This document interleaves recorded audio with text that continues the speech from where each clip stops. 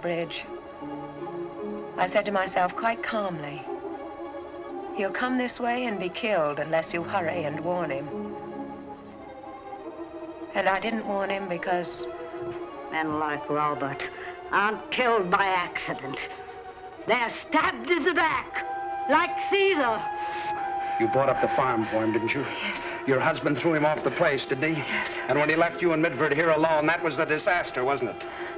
Jeffrey knows nothing about it. You did it alone. I don't even care why you wanted to get rid of Forrest. I only care that you won't let me help you. I'm in love with you. Don't you understand that? You can't do this to me.